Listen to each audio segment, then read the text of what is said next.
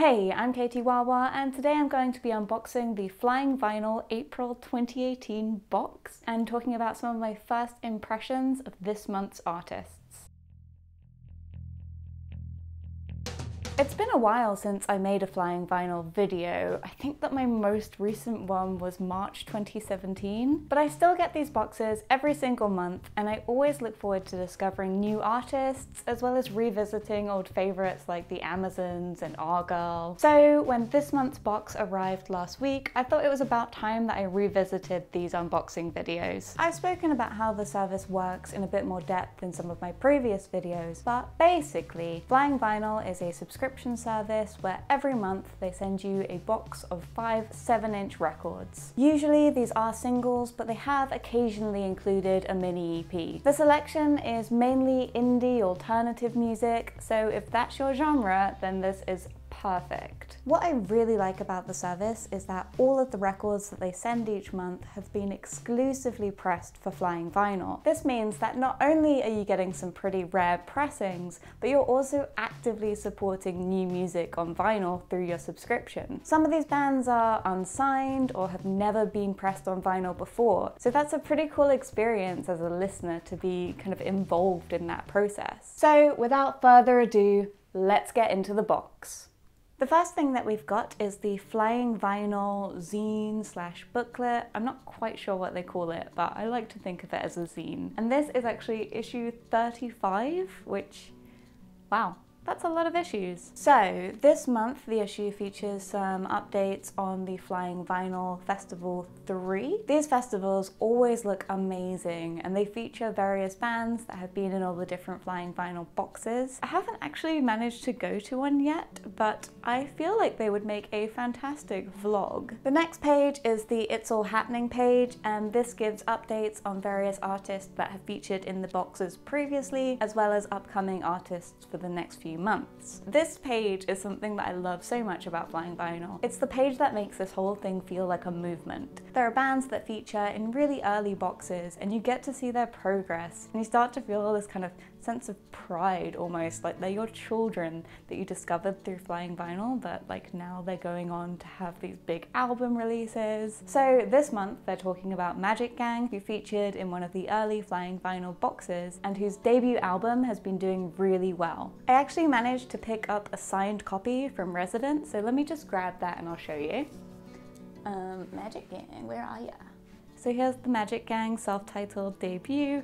It's really good. If you haven't picked it up yet, if you hadn't had a listen, have a listen. It's well good. And then the rest of this booklet is basically a listener's guide to each of the records in the box. They also give you a bit of bio and background on each of the artists, as well as where you can see them live next. So, are you ready for the records? Yeah, you are. You are. Go on.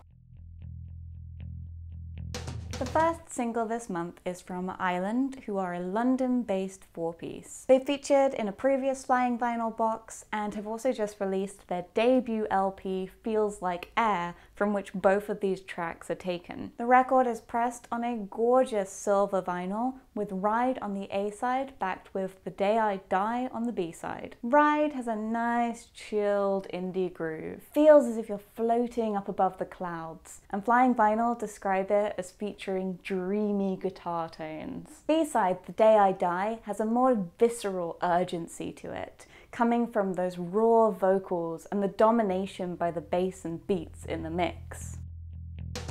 The second record comes from Chloe Black, an Australian artist who reminds me a lot of Born to Die era Lana Del Rey, both in her style and in her use of trap and hip hop in her music. The record has been pressed on coloured vinyl, this time it's perfectly clear. There's always at least one coloured pressing in each flying vinyl box, although lately I've noticed that there's often two, so that's always a nice surprise. The A-side, Good Times, is heavy with production. I really want to see this live or like hear it in a club because I feel like it's missing some of that live atmosphere when I'm just listening to it at home. It's crying out to be heard in a live atmosphere. Although it does still work in this format, like I just want to hear it live now. I totally fell in love with the B-side Waterbed. I'd actually recommend listening to this track first as I think it's a little bit more accessible than Good Times. It's slightly slower and almost haunting, but it will get right in your head. I have to admit though, I was surprised to find this record in a flying vinyl box. Like don't get me wrong, Chloe Black is excellent, like I'm really glad that I got this. But I don't think that Black's music could really be classified as part of the indie genre. Her sound is definitely alternative, so maybe that's the link that they're making, but I'm not sure that it quite fits within the general flying vinyl genre. Maybe that's something that they're trying to expand in their boxes. I'm not really sure. But I'd be really interested to hear what you think. If you've had a listen to Chloe Black, do you, would you classify her as like alternative? I know that there's a big movement of alternative R&B at the moment. So maybe she's falling into alt hip hop or R&B I don't know. I'm really interested to hear what you think though, so please do let me know in the comments.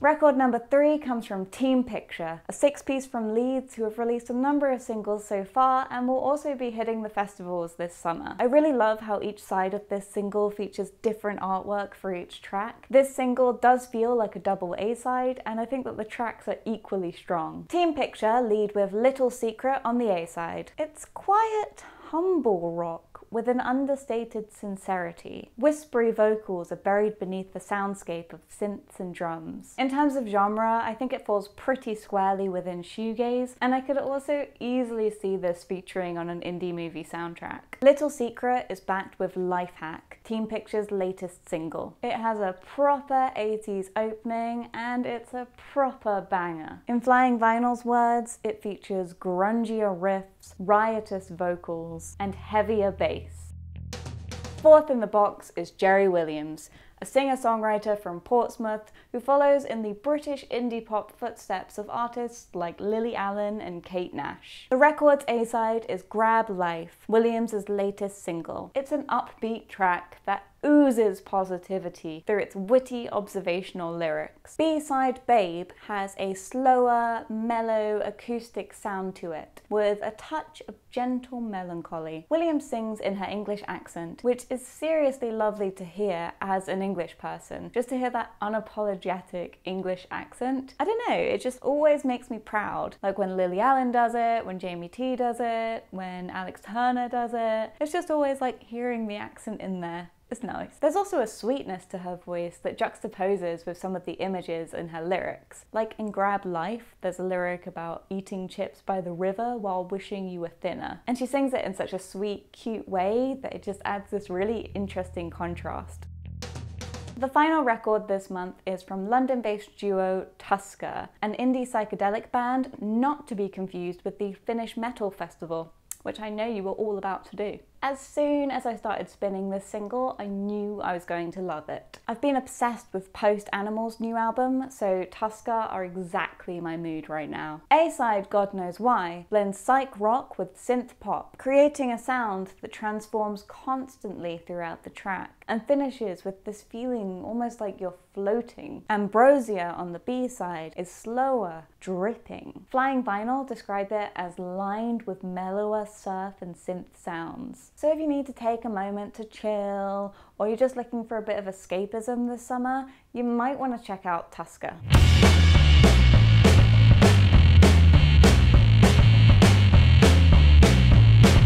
And that's the lot. Five fab. Sorry, I've been watching the new Queer Eye, so I think it's affected my vocabulary. What I mean is five excellent records for April, and they're fab, sue me. April has been a great month for flying vinyl, but I feel like I just always expect it to be good nowadays, so gotta keep that bar pretty high. My favourite this month though is Jerry Williams. Just absolutely fallen in love with her music, with her positivity, with the whole vibe of it, and her Grab Life song is so catchy. I'm really looking forward to hearing more from her, and I need to find out if she's playing live in Brighton soon because like I would go see her, definitely. I've made a playlist of as many of these tracks that I could find uploaded to YouTube by the bands and artists themselves. There'll be a link to that in the end card at the end of the video. So if you want to have a little listen to some of these tracks, if your interest is piqued, then you can click through to that playlist in the end card. And once you have had a listen, or if you're already familiar with these bands and artists, please do let me know what you think of them in the comments. I'd really love to hear, as always. I feel like I learned so much more about artists I talk about, and I always really love reading everyone's comments. And in live streaming news, I'm going to be doing a live stream on Sunday, the 6th of May at 8 pm British summertime. So at the time of upload, that's this Sunday. I'll put a link to the live stream in the description so you can see what time it will be at in your time zone. We'll be catching up on some of these artists and some new music in general. So if there is anything that you would like to see featured in that Spotify playlist, then please do let me know in the comments below as well. Or you can also contact me on Twitter or Instagram. As always, it'll be like a bit of a listening party, bit of a general chat. So if there's anything that you think that I absolutely have to listen to that you haven't heard me talk about or you don't know for sure, do feel free to request that, tell me why you love it, and then I'll go through the comments and put together a playlist. Oh,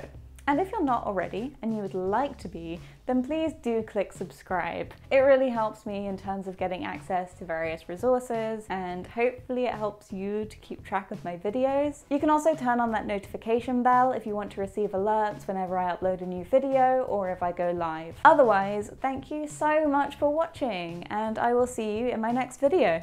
Bye!